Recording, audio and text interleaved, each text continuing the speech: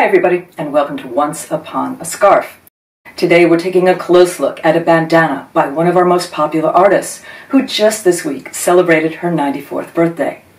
As garments go, it's humble, but it holds the secrets of Yayoi Kusama's creative life, and possibly can provide inspiration for yours. I recently read Kusama's biography and came to understand the arc of her life and work. It's amazing. The woman stands shoulder to shoulder with O'Keeffe, Van Gogh, and Kahlo, both as a visionary and as a model for saying, The hell with all y'all, my visions will not be ignored. So, on to today's scarf. It's perfect proof that you don't have to spend a fortune to live with great art. This one can sell on eBay and other outlets for over $50, but you don't have to spend that much. In the States, you can order it online from the Smithsonian. In the UK, you can get it from the Tate Modern.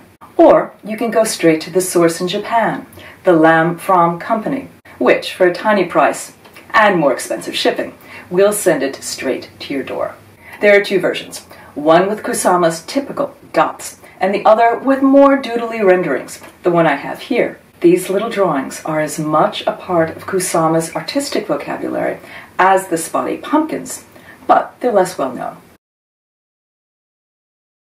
Kusama was born in 1929, 130 miles west of Tokyo.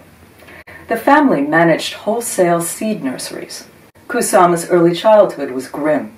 Her mother was abusive, which was to affect the little girl for the rest of her life. As a child, she sought refuge in the fields and greenhouses, sketching the plants in minute detail.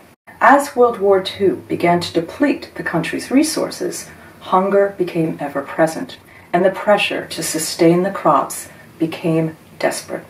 After the war, the teenage Kusama continued to work the harvests before going to art school in Tokyo. Driven to make art, she quickly ran into limits to her aspirations. She was later to write, Art like mine does battle at the border of life and death, questioning what we are and what it means to live and die. Japan was too small, too servile, too feudalistic, and too scornful of women. My art needed more unlimited freedom and a wider world. She first moved to Seattle and then on to New York City, where by sheer force of will she made her way repeatedly to the center of the artistic vortex, be it abstract expressionism, minimalism, pop, and then on to live happenings and installations. She played on sex to attract the public eye and even more so, her ever present and underlying theme of obsession. Objects and images were repeated again and again in an attempt to soothe her inner demons with a ritualistic kind of physical mantra. Ultimately, she quit New York to return to Japan. She moved into a mental hospital and has lived there ever since.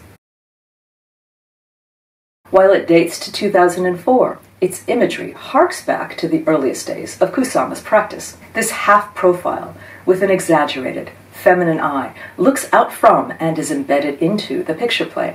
She witnesses, and she can't help but see the eye is shot wide open, the tiny little creatures that swarm the page.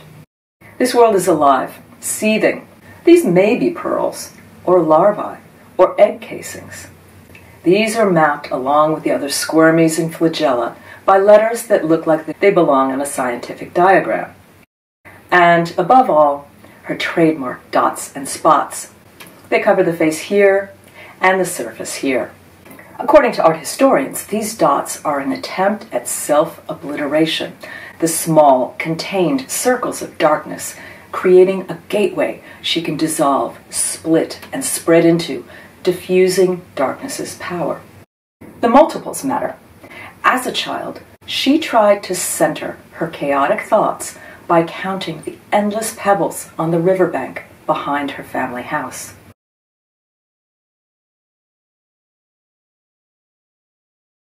But I think there may be another aspect to these dots that's less abstract and more immediately terrifying, deeply tied to her days as a hungry girl in war wrecked Japan, working to sustain the family's crops.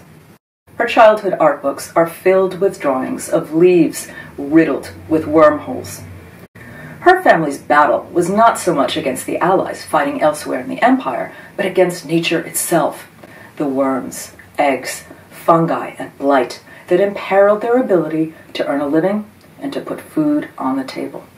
Nature dots its fruits as well, with spores, and to a starving child in a field with a family dependent on the harvest, that vision is truly a nightmare. Part of a scarf's value is its scarcity. This one is not scarce. You could say it's being produced into infinity. But that doesn't matter. It holds an incredible lesson for anyone aspiring to create great and lasting art. Confront your monsters, blot them, impale them, release them on paper or canvas again and again and again. Diminish them by multiplying them down into specks. Make your world our world. Make your nightmares aesthetic, to the point where their power over you is tamed. But others, for reasons they can't quite explain, are unable to tear their eyes away. And that's today's scarf story. I hope you enjoyed it. Please press the usual buttons to see more.